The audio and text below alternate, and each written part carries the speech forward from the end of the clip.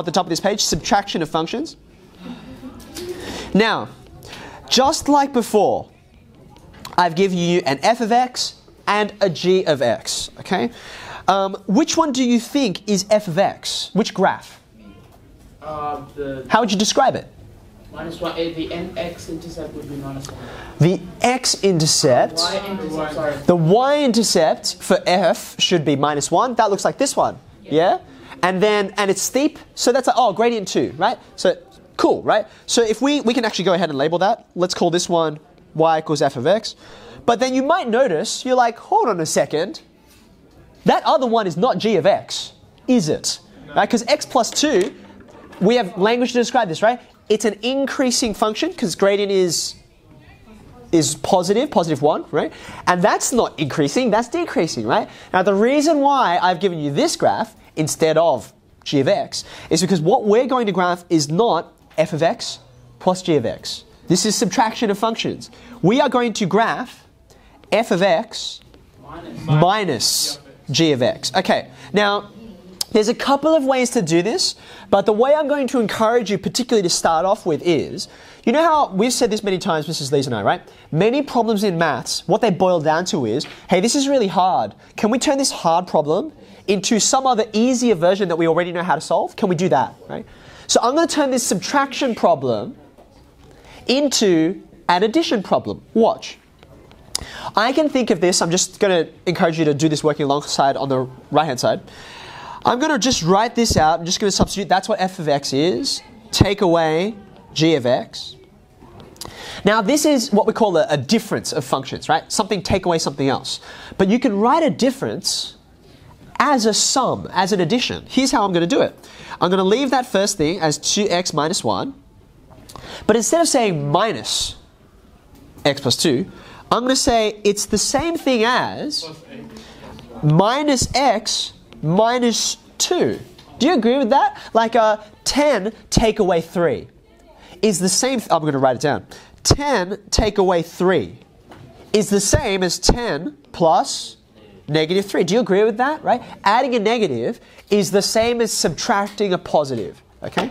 Now, the reason why I like this way of writing it is because it's addition of functions. We already know how to do this. Does that make sense? So now you can see over here the graph I've actually given you, this, this sloping one, right? This is actually minus x minus 2. So this graph here is not g of x, it's actually minus G of x. g of x. Do you agree with that? So the real g of x is actually that one, but upside down. That's, yeah, exactly what I've done. Okay, you with me? I've, I've, I've taken the opposite sign. Okay. So what I'm doing here is I don't like that it's subtraction, right? Because you can actually do it this way, you can do it visually, but I'm like, I already am good at addition. Can I just turn this into an addition problem?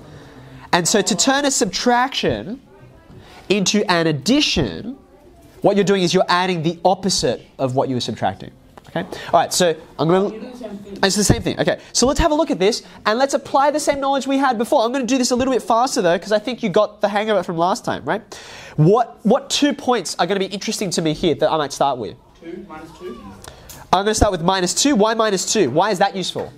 What kind of point is it? It's an x-intercept. Thank you. And then the minus four and two. The y value here is zero. The y value down here is. Have a look. Have a look. What's it look like to you? Looks like minus five, right? All the way down here. So zero plus negative five. What's it equal to? Negative five. Just negative 5. Bam. So I'm going to go through there. Okay. Pick another point for me. Um, minus four and two. Uh, minus what? Sorry. Minus four Minus 4. Where are you looking? What x value? Give me an x value. X equals. Um, There's a really easy one. Have a look. Have a look. How about half, right? I know uh, it's, it's a bit of a small axis here, right? But the other x-intercept, you started with one x-intercept. Let's do the other one, right? The other x-intercept is a half, right? Am I going to go above or below this time? Below, so I go down all the way to this guy. What does that look like, by the way? That looks like y equals negative two and a half, I think. Negative two and a half. So zero, zero plus negative two and a half is negative. two and a half, right? So I'm down, I'm down here. Okay.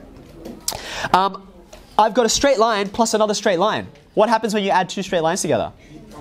You get another straight line. So I'm just going to go all the way through this. I think I'm going to get something like this. Whoops. That's a bit wonky. I'm going to try again, sorry. That's more like it. So, it's so good because you can delete your lines. Yeah, well, that's why. I mean, there's this other technology that's really good at that. It's called pencil. Uh, okay, so do you agree? I've gone through both points, okay? And now what I'm going to do, just like I did before, is I'm going to check algebraically if this matches with what I should be expecting, right? So let's do the algebra now, right? So, sir, Yeah. is the answer the graph or the algebraic one done at the moment? The answer at the moment that we're focusing on is the graph. I'm using the algebra to check my graph, right? Because later on, I'm going to show you graphs like this. And you're going to be like, what, what am I supposed to do with that? Like, there's no quadratic formula for this. There's no nice thing. But you can graph this if you're used to thinking like this. Okay, we'll, we'll get to it, just not this particular period. Okay, so uh, let's do the algebra now just to confirm. Right, what I'm getting is, what is 2x plus negative x? How many x's will I be left with? X Just a single x? Then I've got minus 1 and a minus 2. minus 3. Negative three. Let's check. Does this look like my graph? Yeah. Yeah. Gradient is Uh, 1. Gradient is 1, like so. And y-intercept is minus 3. And you can see it right there. You okay with that? Does it make sense?